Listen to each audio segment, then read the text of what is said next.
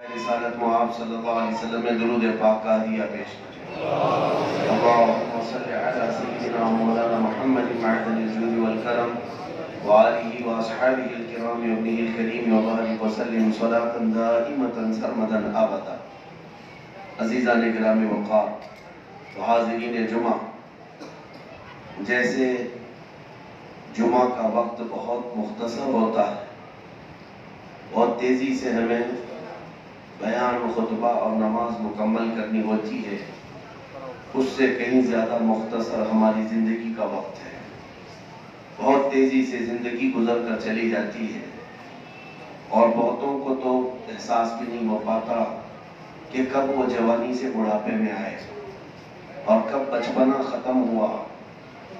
अचानक जब मौत की दस्तक घर पर आती है तब एहसास होने लगता है कि मेरी ज़िंदगी ख़त्म होने को आएगी इसीलिए मेरे आका सल्लल्लाहु अलैहि वसल्लम की एक हदीस तुम्हारे गोश गुजार करता हूँ। जुमा नसीहत का दिन है। जुमा वाज का दिन है। वाज कहते हैं लोगों के दिलों में वो बात डालना जिससे वो अल्लाह की तरफ़ चले आए। क्योंकि आज का दिन हमारे लिए ऐसा होता है कि बगैर बुलाए आप मस्जिदों में जमा होते लोगों को एक जलसा करने के लिए बड़ा प्रचार करना पड़ता है, लेकिन जुमा का कोई प्रचार नहीं होता। खुद बहुत आपके दिल खींचे चले आते हैं अल्लाह के घर की तरफ़। इसलिए इस जुमा के दिन को वाज और नसीहत का दिन कहा जाता है। अल्लाह के नबी अलैहि वसल्लम की एक हदीस आपके सामने रखता हूँ। नबी करीम सल्लल्लाहु अलैहि वसल्लम इरशाद फरमाते हैं खमसन क़ब्ल खमसिन। पाँच चीज़ों को, पाँच चीज़ों से पहले गनीमत जानो जो तुम्हारे पास है आज, उसकी कीमत और उसकी कदर का एहसास करो। इसी को कहते हैं गनीमत जाना। वो पाँच चीज़ें क्या हैं? नबी करम वसल्लम इरशाद फरमाते हैं शबाब का कब्ल हरमिक है। तुम्हारी जवानी को गनीमत जानो, इससे पहले कि बुढ़ापा आ जाए। बुढ़ापा आने से पहले तुम अपनी जवानी की फ़िक्र करो, इसकी कदर करो।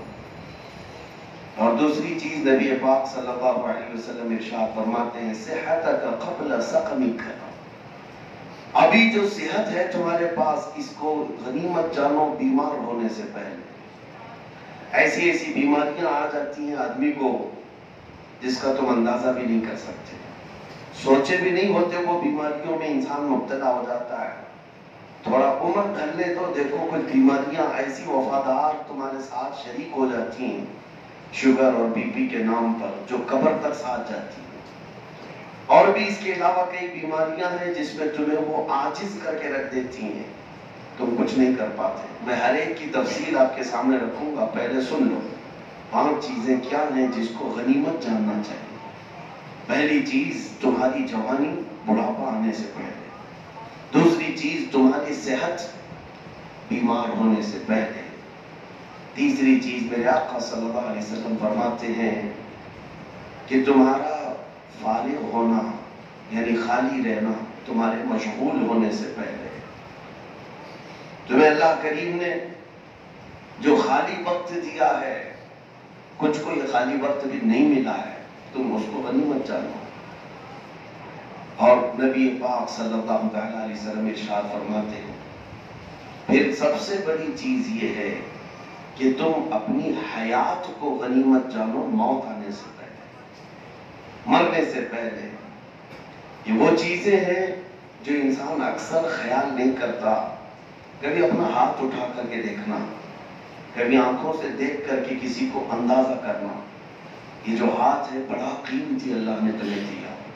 अगर ये टूट जाए तो तुम छूना भी नहीं जानते, पकड़ना भी नहीं जानते। इनकी कदर और कीमत का तुम्हें अंदाज़ा नहीं, जो आँखें अल्लाह ने तुम्हें बिन मांगे दिए। बिना आँखों वाला जो ज़िंदगी गुजारता है, उसे सफ़ेद और काला क्या होता है, ये भी पता नहीं होता।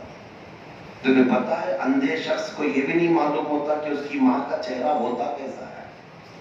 अंधे को ये भी नहीं मालूम होता कि इंसान दिखता कैसा है। वो सिर्फ़ एहसास की ज़िंदगी गुजार रहा होता है। और तुम्हें रब जलाल ने आँखें भी अता की, जिस्म भी सलामत दिया नबी रहमत सल्लल्लाहु अलैहि वसल्लम जब वाज फरमाते तो इस पर सहाबा कराम रो पड़ते थे। यकीनन, अल्लाह करीम ने जो चीज़ें हमें दी है, आज उसका एहसास ना करोगे तो ये नियामतें छिन जाएँगी।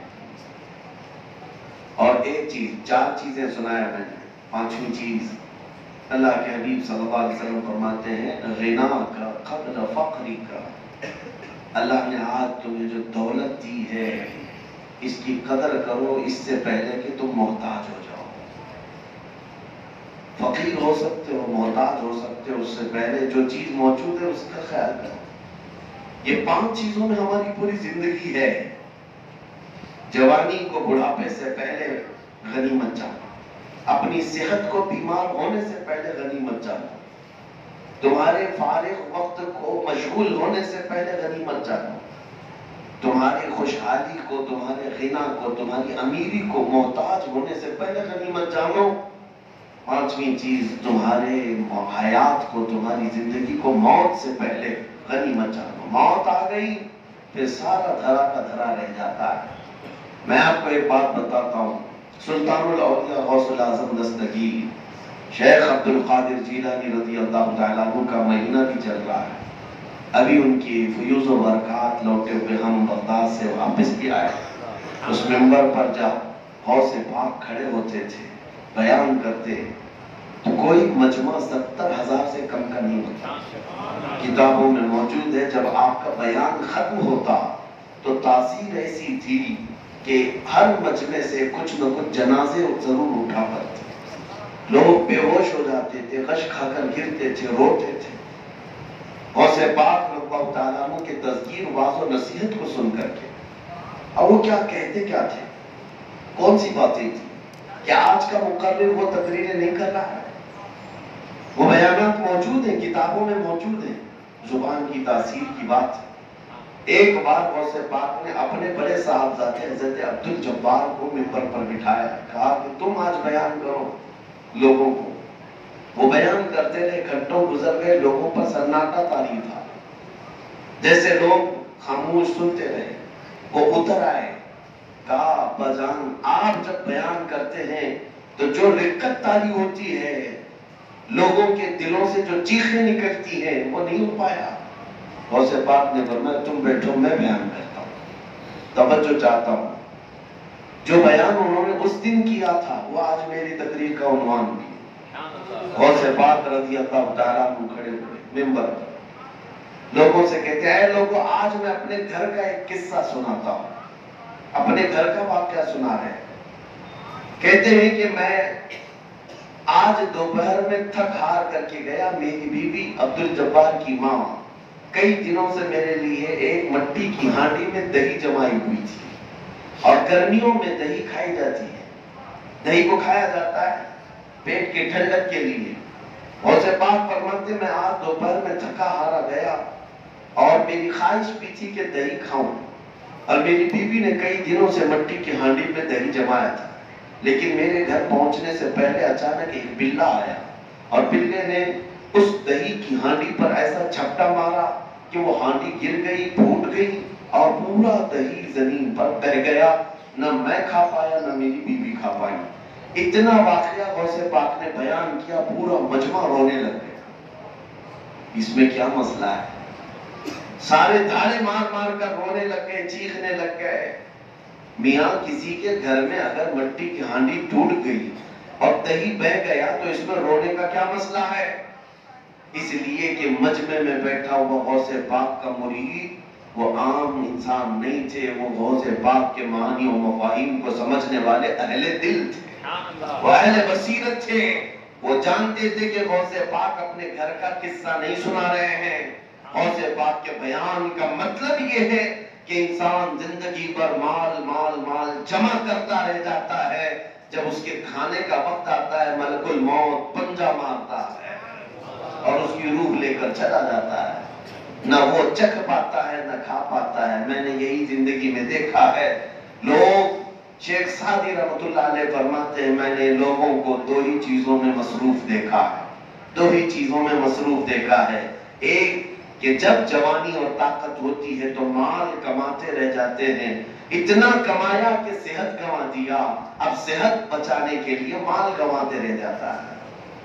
बाकी की ज़िंदगी जो कमाया था वो हॉस्पिटल्स में डालते रहो डॉक्टरों को देते रहो। इन्हीं दो चीज़ों में शेख शादी फरमाते पूरी ज़िंदगी खत्म करके चला जाता है। जवानों को हमने देखा है कि नाइट और डे उनके लिए कुछ मसला नहीं, दिन में भी काम है, रात में भी नाइट शिफ्टिंग सब कर रहे हैं। क्यों नहीं कुछ तो स्टैंड होना है। और जब स्टैंड होने का वक्त आया तो बीमारियाँ लग गई। जो जमा किया था, अब उन बीमारियों को सही करने के लिए खर्चा करता रहा। अजीजा ने ग्रामी वक़ा ये बात मैं आपके सामने इसलिए अर्ज़ कर रहा हूँ, बहुत सारे हमारे बच्चे और नौजवान अपनी जवानी का कदर की कदर नहीं कर पाते, उन्हें एहसास नहीं है। एक बात याद रखो कि जवानी बहुत थोड़े वक्त के लिए दी गई है और खत्म हो जाती है, बहुत तेज़ी से चली जाती है। तुम अभी प्लानिंग करते रह जाओगे मनसूबाबंदी करते रह जाओगे, तुम्हारे बालों में सफेदी आ जाएगी। तुम अभी स्टैंड होने के मंसूबे बना रहे होंगे, घर बनाने के मंसूबे बना रहे होंगे, उस वक्त तक तो दांत ढीले हो जाएँगे, कमर टेढ़ी होने लग जाएगी। तुम्हें पता भी नहीं चलेगा। अचानक तुम्हारे बालों में सफेदी कहाँ से आई? तुम अंदाज़ा भी नहीं कर पाओगे। इसीलिए जो जवानी 18 साल से लेकर शुरू होती, वो बड़े चैलेंजेस भरी हुई होती है। बहुत सारे चैलेंजेस उसके सामने होते हैं। देखना यह है कि वो सिर्फ़ अपने नफ्स परस्ती का शिकार होता है। सिर्फ़ अपने लहू लाइब और अपनी ख्वाहिशात को पूरी करने में मसरूफ होता है या रहमान की दी हुई जवानी को उसकी रजा में खर्चा करता है। और ये बात भी याद रखना, तुमने अगर जवानी को गनीमत जाना, अल्लाह की दी हुई थी ये जवानी, उसकी रजा में गुजारा तो कसम खुदा की अस्सी साल के भी हो जाओगे तो जवानी खत्म नहीं होगी। जवानी तुम्हारी बरकरार रखी जाएगी तुम्हारी जवानी की कुत और तरोताजगी बुढ़ापे तक अल्लाह सलामत रखेगा। आजा का कमज़ोर होना और है, लेकिन एहसास का मर जाना और होता है। कुछ नौजवानों को हमने देखा है। इसीलिए आज मैं ये टॉपिक इसलिए अर्ज़ कर रहा हूँ। अल्लाह के नबी सल्लल्लाहु अलैहि वसल्लम की एक हदीस मैंने पढ़ा। मेरे आका सल्लल्लाहु अलैहि वसल्लम फरमाते क़यामत के करीब एक ज़माना ऐसा आएगा तुम देखोगे कि जवान बूढ़े नज़र आएँगे और बच्चे जवान नज़र आएँगे। छोटे बच्चे जवान नज़र आएँगे और जवान लोग बूढ़े नज़र आएँगे। और ये प्रैक्टिकल आज देखने को मिल रहा है। 20 साल 25 साल 30 साल के करीब के नौजवानों में हमारे पास बहुत लंबी लिस्ट है जिन्होंने अपनी जवानी ऐसी खराब कर दी है कि उनके अंदर बुढ़ापा है। सिर्फ़ चेहरा देखने को स्मार्ट है हैंडसम है। अंदर से तबाह हो चुके हैं। उनसे अच्छे वो पुराने जमाने के बूढ़े हैं जो 60 साल में भी ताकतवर होते थे। आज उन खोखले नौजवानों को मैं देखकर हदीस याद करता हूँ, जिसमें मेरे आका ने फरमाया था कि तुम जवानों को बूढ़ा देखोगे, कुछ नहीं कर पाएँगे। और फिर बच्चों को हजूर फरमाते हैं, वो जवान नज़र आएँगे। ये भी हमने आज के जमाने में देखा। चार साल का बच्चा वो बातें जानता है जो हमारे जमाने में पैंतीस साल का लड़का नहीं जानता था। आज छोटे से चार साल, पाँच साल के बच्चों से आप बात करना मुश्किल हो गया है कि वो तुम्हें पर्सनल रिलेशनशिप के बारे में भी बातें करने लगते हैं। शहरों के हालात हमने देखे। छोटे छोटे से बच्चे जिनके बालिग होने में भी अभी वक्त बाकी है। लेकिन वो बेहयाई की बातें खुले तौर पर करते ऐसा लगता है कि वक्त से पहले ये जवान हो चुके ये कयामत की निशानियाँ हैं। ये कयामत की निशानियाँ जो हमारे घरों में आज आ चुकी हैं। ए नौजवानों, तुम्हारे पास वक्त बहुत कम रह गया। अगर तुम 20 साल 25 साल के हो तो ऐसे सूरज तेज़ी से निकल रहा है, तेज़ी से डूब रहा है। तुमको क्या लगता है कि आज छह बजे निकला, शाम शाम सात बजे डूब गया? नहीं। हर दिन तुम्हारी ज़िंदगी की एक एक घड़ियों को डुबोते चला जा रहा है। तुम्हें बहुत तेज़ी से बुढ़ापे की तरफ़ ला रहा है और वो वक्त अनकरीब आने वाला है, अनकरीब। जब मलकुल मौत बिल्कुल तुम्हारे सामने आकर खड़ा होता है, मौत का फरिश्ता, जिससे कोई भी बच नहीं सकता और छुटकारा भी नहीं। इसीलिए नबी पाक सल्लल्लाहु अलैहि वसल्लम ने फरमाया, अपनी ज़िंदगी को गनीमत जानो, मौत आने से पहले। मैंने एक हदीस पढ़ी हज़रत सुफिया ने सौरी एक छोटी सी बच्ची अपने बाप के जनाजे के साथ रोती हुई जा रही थी। आठ साल की बच्ची थी। उसके बाप का इंतकाल हुआ, जनाजे के पीछे पीछे रोती जा रही थी। और ये कहती जा रही थी कि आज हमारे घर पर कितनी बड़ी मुसीबत आ गई। हमारे बाप हमसे दूर हो गए। और मैं बचपन में यतीम हो गई। मेरे घर पर आज बड़ी मुसीबत आई। बच्ची रो रही थी।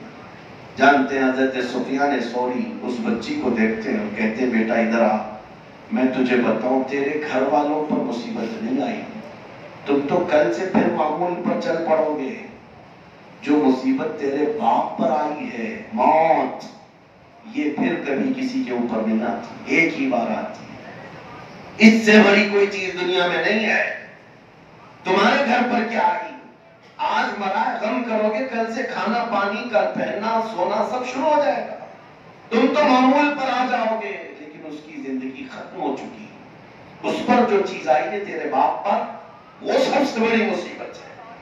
फिर वो बच्ची कब्रस्तान तक गई और अपने बाप को दफन करके जब आई, दूसरा दिन था। सुबह सुबह के वक्त हज़रत सुफिया ने सौरी कब्रस्तान में थे।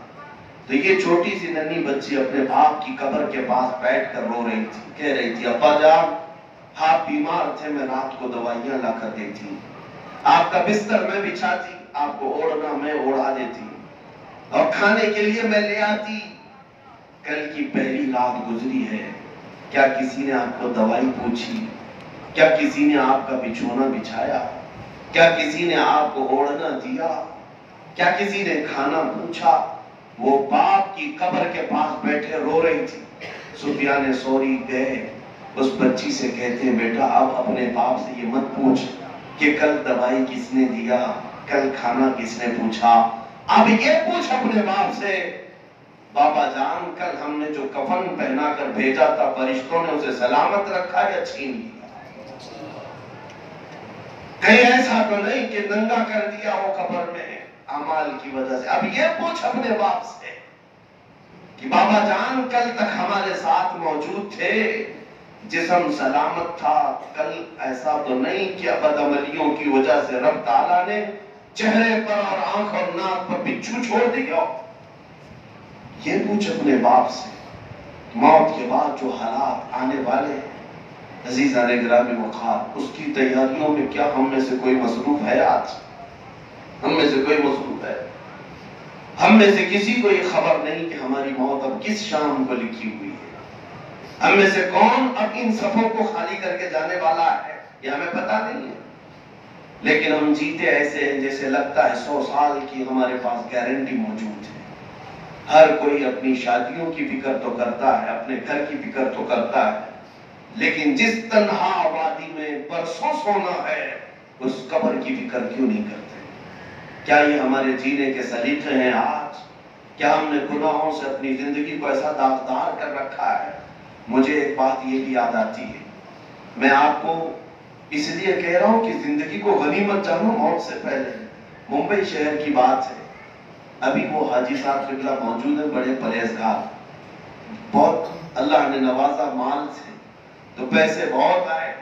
एक ही बेटा था, उसको अच्छा पढ़ाया, गवर्नमेंट में पढ़ाया। और बच्चे के पढ़ाने में इतना मसरूफ हो गए कि उसको इंग्लैंड तक भेजा, ऑक्सफोर्ड भेजा था। और लड़का उनकी पच्चीस या छब्बीस साल की उम्र का था बोन कैंसर हो गया। पता ही नहीं चला। बहुत अच्छा टैलेंटेड लड़का था, नौजवान। और इतनी जल्दी कैंसर हुआ कि पता ही नहीं चला। छह महीने सिर्फ़ इलाज। और उसके बाद ये जो बोन कैंसर होता है, हड्डियों का, हड्डियाँ गल जाती हैं। हड्डियाँ गलने लगती हैं, जिसम टूट जाता है। वापस उसे इंडिया लाया गया।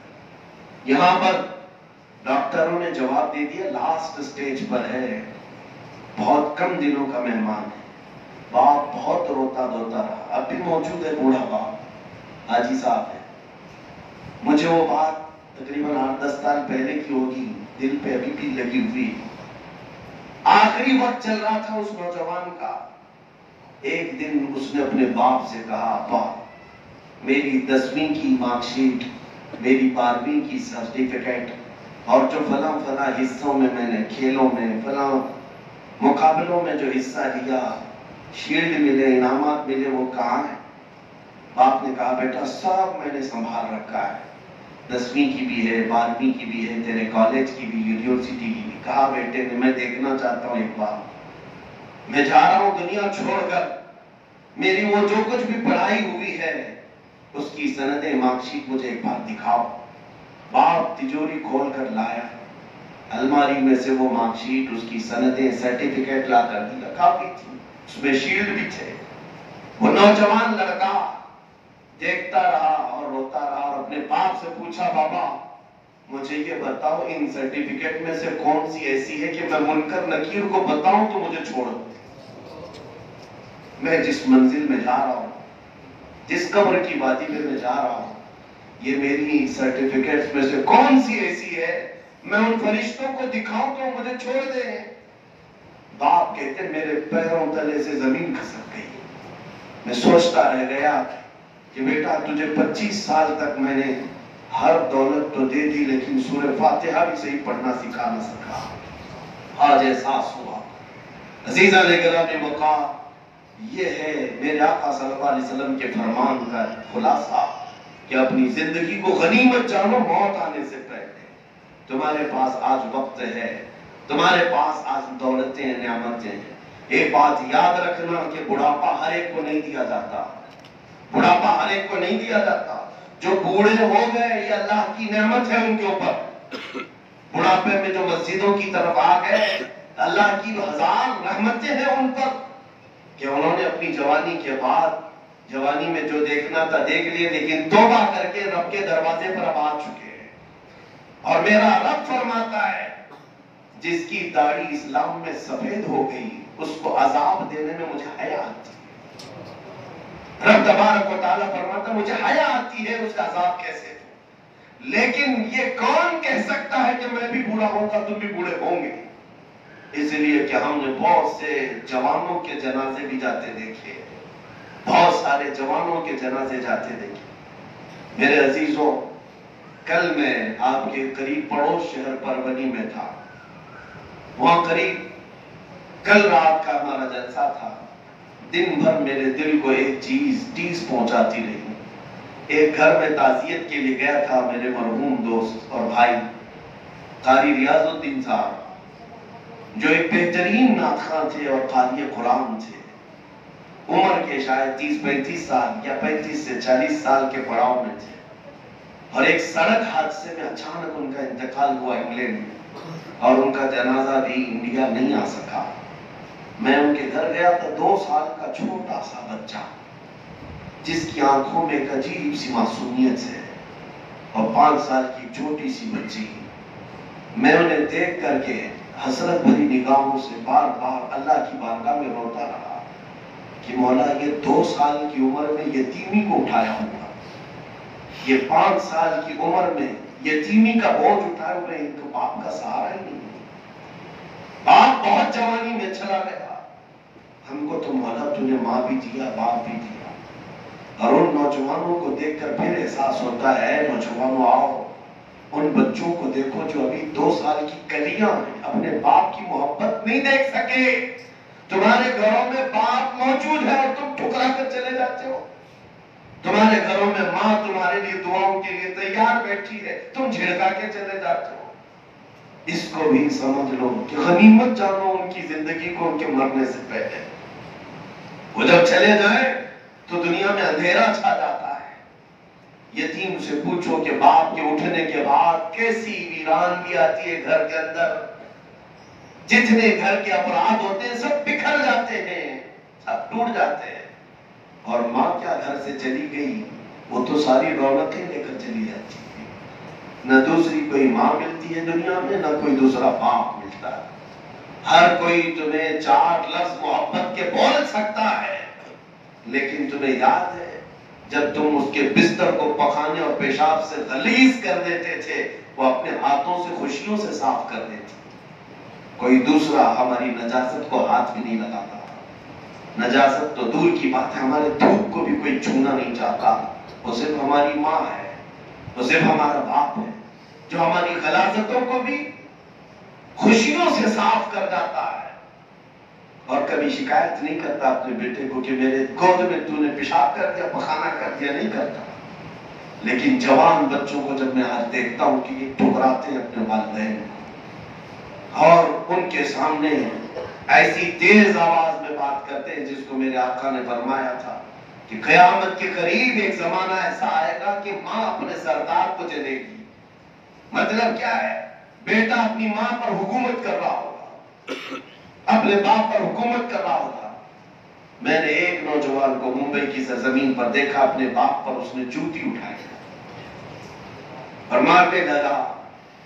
बाप ने कहा, तू मेरा बेटा है, तुझे पता नहीं है? ये मेरे सामने की बात वो लड़का कहता है इसी बात का तो मुझे अफसोस है कि मैं तुझसे पैदा हुआ ये हालात, ये मुआशरे तुम्हें अंदाज़ा नहीं कि मौत के बाद तुम्हारा हिसाब होना है। अब आओ, मैं उस हदीस की तरफ़ चलता हूँ। नबी आखिर सल्लल्लाहु इरशाद फरमाते हैं, कयामत के दिन इब्ने आदम, औलाद आदम, उस वक्त तक अपना पाँव हश्र के मैदान से हटा नहीं सकेगी, जब तक रब ताला के इस सवाल का जवाब नहीं देगी। कौन सा सवाल है?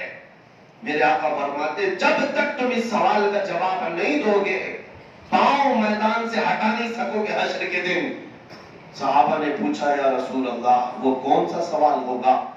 मेरे आका फरमाते हैं, रब ताला सबसे पहले ये पूछेगा, मैंने तुझे जवानी दी, बता तूने कहाँ कहाँ खर्चा किया? कहाँ कहाँ खर्चा किया? और मुहदसिन शारहीन फरमाते हैं, इस एक सवाल के जवाब में किसी को 300 साल लग जाएँगे। किसी को 500 साल लग जाएँगे, क्योंकि ज़िंदगी का कुल खुलासा जवानी है। जवानी है। बचपन तो लड़कपन में गुजर गया, बुढ़ापा तो रिटायरमेंट में चला गया। असल जो ज़िंदगी है वो जवानी की है, हिसाब इसका ज़्यादा होना है। ख्वाहिशात इसी उम्र में ज़्यादा है गुना इसी उम्र में ज़्यादा है। दौड़ भाग इसी उम्र में ज़्यादा है। और रब तबारक ताला इसी बारे में सवाल भी करेगा। ये नहीं पूछा जाएगा, बचपना कहाँ गुजारा, बुढ़ापा कहाँ गुजारा। ये फरमाया जाएगा कि मैंने जो तुझे जवानी दी थी, उसका हिसाब दे दे। ऐ नौजवानों, क्या तुम कयामत के दिन अल्लाह की बारगाह में अपनी जवानी का हिसाब देने के लिए तैयार बैठे हो? क्या कयामत के दिन ये बोल पाओगे कि मौला रात रात भर मैं गेम खेलता था? मैं दिन भर तो चैटिंग करता था। मैं रात भर गंदी फ़िल्में देख करके अपने बिस्तर को गर्म करता था। क्या ये रब ताला की बारगाह में जवाब दे सकोगे? तुम क्या जवाब दोगे? सूरह यासीन सूरह यासीन में रब ताला फरमाता अल यौम नख्तिमु अला अफवाही वतुकल्लिमुना अयदीहिम वतशहदु अर्जुलुहुम बिमा कानू यक्सिबून। आज के दिन तो हम तुम्हारे मुँह पर मोहर लगा देंगे। तुम्हारे हाथ हमसे बात करेंगे। तुम्हारे पैर तुम्हारे बारे में गवाही देंगे। तुम अपनी जवानी में क्या क्या करते थे? यहाँ तक कि कुरान में, चौबीसवें पारे में अल्लाह फरमाता है कि लोग उस दिन ताजुब में होंगे कि उनके रान की चमड़ी भी बात कर रही होगी? उनके रानों की चमड़ियाँ बात कर रही होंगी और कह रही होंगी कि मौला, ये अपनी शर्मगाह को किस तरह से आज़ाद किया हुआ था? ये किस तरह गलाजतों में मुबतला था? हर मर्द चीख कर उन चमड़ियों को कहेगा कि तुम्हें क्या हो गया? हमारे खिलाफ बात कर रहे कानून जुलूदिहिम लिमा शहिदतुम अलैना हमारे खिलाफ तुम गवाही क्यों देने लग गई चमड़ी को तुम थोड़ा सा जल जाती तो मैं मरहम पट्टी करता था। चमड़ी को अगर खरोच भी आ जाए तो हम उसकी पट्टी में कितना वक्त गुजारते हैं। हम बहुत ख्याल करते हैं इन चमड़ियों का। लेकिन ये चमड़ियाँ कल हमारे खिलाफ गवाही देंगी। तो वो बोलेंगी वो बोलेंगी चमड़ियाँ जब तुम उनसे सवाल करोगे कि हमारे खिलाफ गवाही क्यों दे रहे वो कहेंगी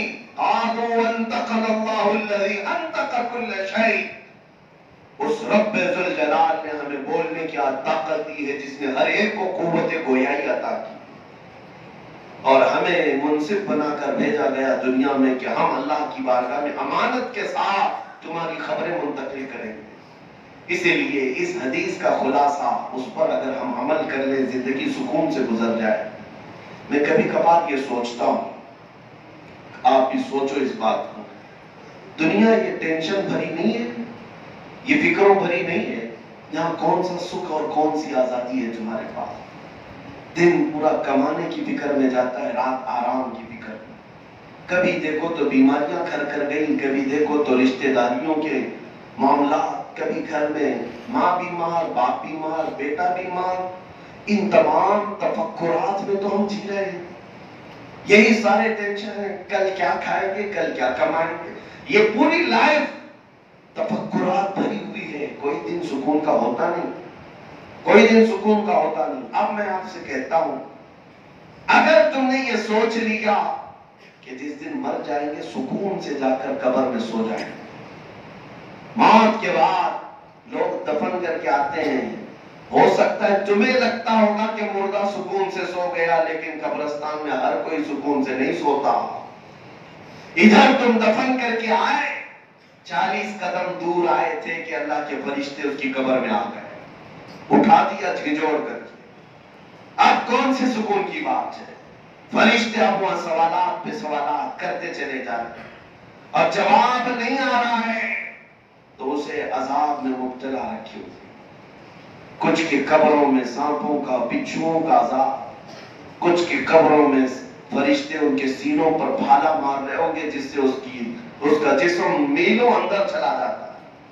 और ये कयामत तक जारी रहेगा, मुर्दा सोचता है, ये वक्त गुजर जाए। ये वक्त गुजर जाए, कयामत आ जाएगी तो इससे छुटकारा मिल जाएगा। सोचो दुनिया में ये सोचता रहा कि लाइफ खत्म हो गई, कब्र में सुकून होगा। कब्र में सुकून नहीं मिला तो सोचता हशर का दिन आ जाए। उस दिन तो ये कब्र के अजाबा से छुटकारा तो मिल जाएगा। आ गया हशर का दिन, कयामत का दिन आ गया। अब जैसे ही मैदान में खड़ा हुआ, वहाँ की तपिश और गर्मी ने तो बेहाल कर दिया। हदीस बात में लोगों के भेजे पक पक करके कानों से उबर रहे होते कयामत के मैदान और वहाँ पर भी सवाल अब वो इस इंतज़ार में होगा कि जल्द से जल्द मेरा फैसला हो जाए। मेरा फैसला हो जाए। दुनिया से छुट्टी लेने की कोशिश करता रहा। कब्र में सुकून मिल जाए। कब्र से भी सुकून लेने के लिए हशर का इंतज़ार करता रहा। और हशर में आने के बाद अब फैसले का इंतज़ार कर रहा है कि जल्द से जल्द मेरा फैसला हो जाए। अब ऐ नौजवानों, जरा दिल पर हाथ रख करके बताना अगर कयामत का पचास हज़ार साल के बराबर का एक दिन तुम्हारे हक में फैसला आ गया और तुम्हें ये कह दिया गया, फला बिन फला जहन्नम में जाएगा। अब कहाँ सुकून लोगे? अब कहाँ का इंतज़ार करोगे? हर जगह की लाइफ तो हमने बर्बाद कर दी। न दुनिया में सुकून मिल सका, न खबर में, न हशर में। फिर जहन्नम मावा उलझा हो गया वहाँ ठिकाना हो गया हमारा। इसलिए मेरे आका सल्लल्लाहु अलैहि वसल्लम की तरफ़ इशारा करते हुए बरेली के इमाम ने कहा था, आज ने उनकी पनाह, आज मदद मांगो उनसे। कल न मानेंगे, कयामत में अगर मान गया। बहुत सारी तुम्हारे पास अभी फुर्सतें मौजूद हैं, तुम अपने आप को बदल सकते हो। ये मस्जिदें जो वीरान हैं, इन्हें भर सकते हो। जो हर वक्त तुम्हें पुकारती हैं, कल कयामत के दिन ये तुम्हारे खिलाफ मुकदमा करेंगे। अल्लाह की बारगाह में शिकायत करती है मस्जिद मौला। इन्होंने बना तो दिया था, लेकिन मुझे भूखा और प्यासा रखते थे। इससे पूछा जाएगा मस्जिद को कि तुझे भूख कैसे लगती थी? ये कहती है, जब अजान होती, मुझे भूख लगती। अगर ये आकर मेरी सफे भर देते, मेरा पेट भर जाता। मगर इन्होंने अक्सर मुझे खाली रखा, भूखा रखा। ये हमारे खिलाफ मुकदमा करेंगे लेकिन तस्वीर का एक दूसरा रुख भी मैं आपको बता जाऊँ। ये तो उन लोगों के हालात मैंने आपको बताए जिन्होंने अपने हाथों जवानी बर्बाद कर जिन्होंने जवानी की कदर नहीं की, एहसास नहीं किया, गनीमत नहीं जाना, ये उनके लिए मैंने बताया। लेकिन आओ, मैं तुम्हें बताऊँ, जिसने जवानी की दहलीज पर कदम रखते ही एहसास कर लिया कि मैं यहाँ पर अपनी मर्ज़ी की लाइफ जीने नहीं आया, मेरे रब और रहमान की मर्ज़ी से जीऊँगा। तो फिर उस नौजवान के हालात ऐसे, अल्लाह अकबर, उसके लिए फरिश्तों में ऐलान किया जाता है। फरिश्तों में ऐलान कराया जाता है। ये अल्लाह का पाकिजा बंदा है जो अपनी ख्वाहिशात को ठुकरा कर इस पुरफितन दुनिया में, फितनों से भरी हुई दुनिया में अपने रहमान के हजूर खड़ा होता है। मुस्तफ़ा करीम के पीछे चलता है। फरिश्तों की जमात में तुम्हारा नाम ऐलान कराया जाएगा। वो जवान जो अपनी जवानी की कदर किया। और इतना ही नहीं, अगर तुम्हारी मौत हुई, अगर तुम्हारा इंतकाल हुआ, हदीस पाक में है, ज़मीन का वो टुकड़ा जहाँ तुम सजदा करते थे, वो तुम्हारी मौत पर रोने लग जाए। रोता है। अल्लाह की बारगाह में के मौला, उसके सजदों से मुझे सुकून था। वो हमसे दूर हो गया। उसके गम में वो टुकड़ा जहाँ पर तुम सजदा करते थे, वो रोता। और इतना ही नहीं, आसमान का वो दरवाज़ा जिससे तुम्हारा रिस्क उतरता था, तुम्हारी मौत पर वो भी गम करता है। मौला एक साल नौजवान गया है। वो नौजवान गया जो इश्क मुस्तफ़ा में था। इसी को आला हज़रत ने फरमाया, अर्श पर धूमें मची के मोमिन सालेह मिला। फर्श पर मातम उठा के तही वो ताहिर गया। अर्श पर धूमे मची, मोमिन सालेह मिला। फर्श पर मातम उठा के तय वो ताहिर गया। ये आसमान और ज़मीन दोनों भी उसके गम में रहते हैं, जो इश्क मुस्तफ़ा में मुब्तला था। और इतना ही नहीं, जिस दिन जनाजा हमारा निकलता है घर से। जानते हो, कब्रस्तान के दरवाजे पर पहुँचने से पहले बुज़ुर्गों ने फरमाया, मुर्दे जो कब्रों में मौजूद है, वो तुम्हारे इस्तेकबाल के लिए खड़े हो जाते और हर कब्र वाला ये अल्लाह की बारगाह में तमन्ना करता है कि मौला, ये जो सालेह जनाजा आ रहा है, मेरे पड़ोस में उसे दफन कर। उसे यहाँ दफन होने की तौफीक दे दे। हर एक तमन्ना करता है कि तुम पड़ोसी बन जाओ उसके। क्यों? इसलिए कि वो कब्रों वाले जानते हैं कि आज ये सोएगा हमारे बगल में अल्लाह की रहमतें इस पर बरसेगी, उनके छीटे हम पर भी आए। लेकिन बुज़ुर्गों ने यह भी लिखा है कि जो जवानी बर्बाद करके जा रहा है, जो जनाजा निकला है, पूरे कब्रस्तान के मुर्दे खड़े होकर मौला की बारगाह में बना मांगते हैं मौला। उसका जनाजा कब्रस्तान में आने ना दे। हमारे बगल में उसे दफन होने ना दे। कि अगर वो आज यहाँ सो गया तो कल से उस पर जो अजाब होने वाला है, उसकी धमक हर एक की कबर में आएगी। तुम्हारे हाथ में ज़िंदगी कौन सी गुजारते हो? कौन सी ज़िंदगी गुजारते हो? वो ज़िंदगी के हर कोई तुम्हारा इस्तेकबाल करने के लिए जिंदे भी और मुर्दे भी खड़े रहे या वो ज़िंदगी जिससे तुम हर कोई दामन बचाता हो? आज है बहुत सारे। कुछ ऐसे लोग हैं जिनसे कोई बात भी नहीं करना चाहता दुनिया में। उनके घर वाले उनसे परेशान हैं। उनकी बीवी बच्चे परेशान, माँ बाप परेशान। पास तो ये कहती है, घर में आता है तो बला की तरह लगता है। मेरे अजीजों, कौन सी ज़िंदगी गुजारना चाहते हो? अपने आप को सवार लो। इतना सवार लो कि लोग तुम्हारे जाने के बाद तुम्हारी कमी का एहसास करने लगे तुम महफिलों की रौनक बन जाओ। तुम लोगों की जीनत बन जाओ कि तुम्हारे से लोग मुस्कुराए और तुम्हारे से लोग नफा उठाए। यही मेरे आका सल्लल्लाहु अलैहि वसल्लम के फरमान का मकसद है खुलासा मैं फिर से उस हदीस की तिलावत करके अपनी गुफ्तगु को समेटता हूँ। अल्लाह के नबी ने पाँच चीज़ें दे दी, लेकिन पूरे हयात का उसूल समझा दिया। पूरी ज़िंदगी का उसूल दे दिया। कबल हरमिका कबल सकमिका कबल फकरिका कबल शुगलिका कबल मौतिका। और कमा क़ाल रसूलुल्लाह सल्लल्लाहु अलैहि वसल्लम। मेरे आपा फरमाते पाँच चीज़ों को पाँच चीज़ें आने से पहले गनीमत जानो अपनी जवानी की कदर करो, बुढ़ापा आने से पहले।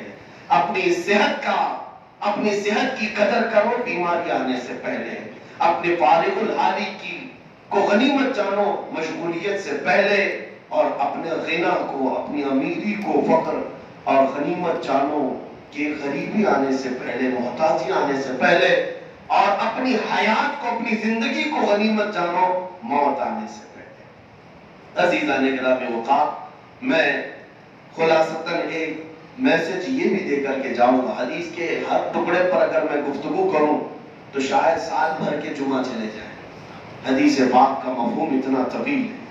लेकिन उन लोगों को आज एहसास नहीं जिनके पास अल्लाह ने सेहत दी। कभी कभार हो सके है, नौजवानों एक टीम बनाओ, तुम्हारी तंजीम बनाओ।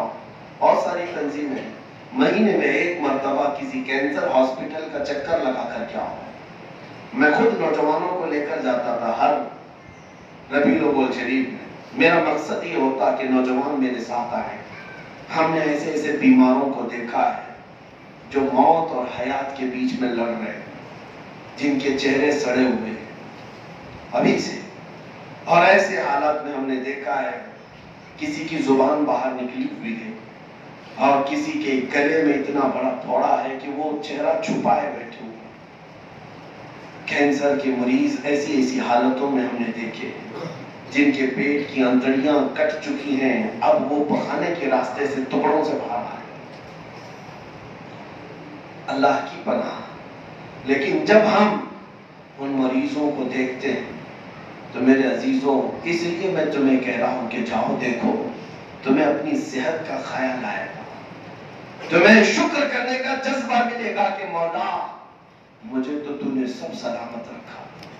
ज़ुबान भी सलामत, आँख भी सलामत, गला भी सलामत, पेट भी सलामत। और उसके बावजूद मैं इतना घमंड करता हूँ कि तेरी इबादत के लिए नहीं आता। एक खातून को मैंने ऐसे भी देखा जो सिर्फ़ इस बात के लिए रो रही थी, इस बात के लिए रो रही थी। कहती है कि मौलाना, इतनी दुआ कर दो कि मेरा सर उठे और सजदा कर सकूँ। सर नहीं उठा सकती, इतनी बड़ी फोड़ी है। शौक बहुत है कि एक सजदा कर लो अल्लाह की बारगाह में। सर नहीं उठा सकती। तकिए से सर उठाओ तो खून बहने लग जाए। पीठ जमा हो चुका है। और एक सजदे की ख्वाहिश है। उस दिन रोना आया। हज़ारों को अल्लाह ने सेहत बख्शी। ये एक सजदे से भी बाहर भागते हैं। इससे पहले कि तुमसे सब चीज़ें छिन जाए, हमने उन लोगों को भी देखा जो कोमा में मुब्तला है। वो तो सजदा तो दूर की बात, अब कलमा पढ़ना भी आता नहीं। ज़ुबान पर कलमा का लफ्ज भी जारी नहीं हो पाता। आज तुम्हारी सेहत सलामत है, इसको गनीमत जानो। कुछ नौजवान गुटका खा खा खा करके अपने आप को जो बर्बाद कर चुके हम ऐसे भी जनाजे अभी दफन करके आए हैं, जिन्होंने 30-35 साल में अपनी ज़िंदगी के सारे मनाजिर खत्म कर लिए सिर्फ़ इन्हीं चंद ख्वाहिशात की वजह से, इन्हीं ख्वाहिशात की वजह से। एक रमज़ान में मैं ऐसे जनाजे में हाजिर था, जिसका चेहरा पूरा फट चुका था। गसल देने जैसी भी कैफियत नहीं थी। ऐसे हालात में जनाजा मौजूद था, लेकिन दिल इस बात पर तड़पता था कि जनाजे के सामने उसकी तीन साल की बच्ची रो रही थी। हम ये सोचते हैं कि इन बच्चों का क्या होगा। तुमने अपनी लाइफ को अपने हाथों बर्बाद किया, उनको किसके हाल पर छोड़ जा रहे हो? उन बच्चों का क्या कसूर है, जिनको बचपने में तुमने छत उड़ा दिया, महरूम कर दिया? हम बोलते हैं तो बहुत सारे नौजवानों को ये लगता है, हमारी लाइफ है, हमें एंजॉय करने दो। नादान तेरी अपनी लाइफ नहीं, तेरे साथ हज़ारों जुड़े हुए हैं। कितने लोगों की ज़िंदगी तुझसे जुड़ी हुई है?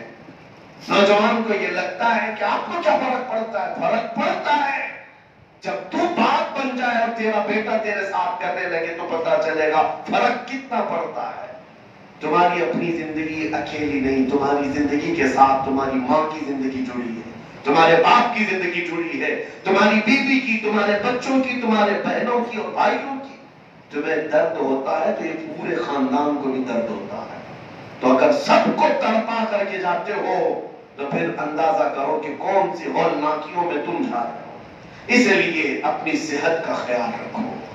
अपनी सेहत को गनीमत जानो, इसको अल्लाह की इबादतों में ले आओ। बहरहाल मेरा खुलासा कलाम यही है अल्लाह करीम ने जो ज़िंदगी दी है, वो अगर इस्तेमाल करना है तो किसमें इस्तेमाल करें? सबसे बेहतरीन मैसेज है, मेरे मुर्शिद ग्रामी हजूर ताज शरिया बदल तरीका का। फरमाते हैं, और ये फरमा करके चले गए दुनिया से, ज़िंदगी ये नहीं है किसी की, किसी के लिए। ज़िंदगी है नबी की नबी के लिए। ना समझ मरते हैं ज़िंदगी के लिए। अरे, जीना, मरना है सब कुछ नबी के लिए। बस इस पर अमल करो इंशाला यहाँ भी शादा व फरमा होगे। खबर में भी पहुंचोगे तो वरिष्ठों को कहा जाएगा कि आराम से इसे सोने दो। बड़ा थक करके आया है। इसलिए कि मेरे मुर्शिद ये भी कह कर गए, मैं मरूं तो मेरे आका। ये मलाइका से कहना, इसे कोई मत जगाना। अभी आँख लग गई है। फरिश्ते कब्र में तुम्हें आराम से सोने का कह कर जाएँगे। हदीस में है, नम कनौमतिल अरूस ऐसा सोचा जैसे दूल्हा सोता तुम्हें ये कह दिया जाएगा इसके मुस्तफ़ा की बरकत से, और कयामत के दिन का हाल ये है तुम्हें ढूंढ ढूंढ करके बुलाया जाएगा, पूछा जाएगा, फला बिन फला कहाँ है, जो मेरे मुस्तफ़ा का आशिक था, उसके लिए जन्नत का हर दरवाज़ा पुकार कर कहेगा, मुझमें से दाखिल हो जा, मुझमें से दाखिल हो जा। अल्लाह करीम हमें वो ज़िंदगी अता फरमाए जो मुस्तफ़ा करीम के कदमों पे कुर्बान हो जाए। वाखिर दावाना अल्हम्दुलिल्लाह रब्बिल आलमीन। सलाम